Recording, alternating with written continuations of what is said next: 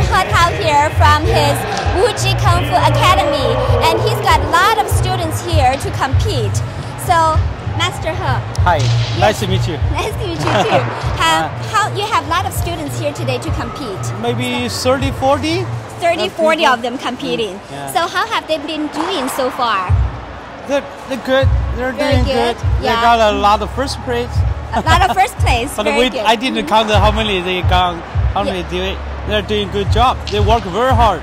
Yes, and you train them very hard. Yeah, training them very hard. Yeah. We have uh, five masters and training them every day. And uh, the kids or adults, they work very hard. Right. Yeah, even the it's not their class, they just come here for practice. Yeah. Very I serious, I yeah. see they have very high energy and very happy. Parents are out here with the kids as well. They very support. Right? And how do you think of the competition overall? This competition. This competition. Yeah, every year some uh, more and more people and more and more.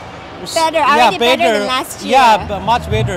Yeah. I talked to Gigi. He, Yes. She says it's, oh, it's more than last year. Yes. Hundred people. More I people than last year. maybe next year going to 500 computer. That's a big. Yes, Go. and we'll have more and more people, more and more competitors support the competition. Yeah, more people Yeah. like the kung fu to learn the energy, to learn the self defense, to learn strong body and a strong man, to help the kids to grow up to be strong person. Very good. And you're, of course, you know, one of the strong promoters of wushu, right? Thank you very Okay. much. Thank you. Thank, Thank you. you. Thank you. Okay. Uh,